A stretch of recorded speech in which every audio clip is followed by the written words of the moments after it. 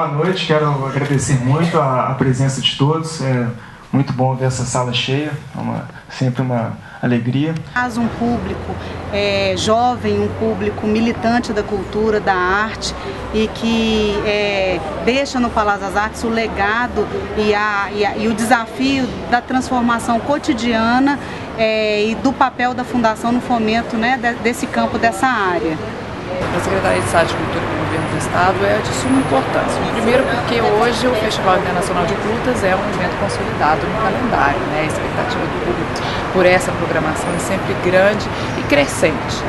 E segundo porque o papel dele hoje já extrapolou um pouco daquela função de difusão e fomento da produção local.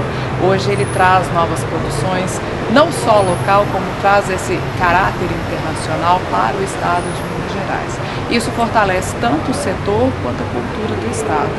É, o Festival de Curtas tem sido um dos mais importantes mecanismos do Estado de Minas Gerais no sentido de fomentar e solidificar o setor do audiovisual em Minas Gerais.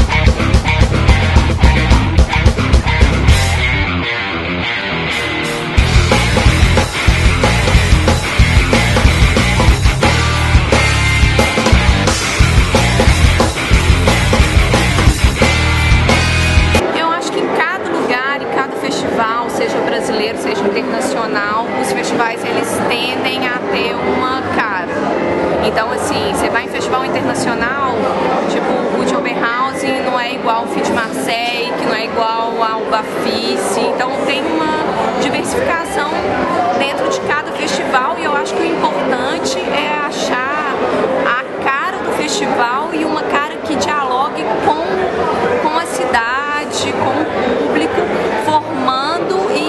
instigando as pessoas para conhecerem mais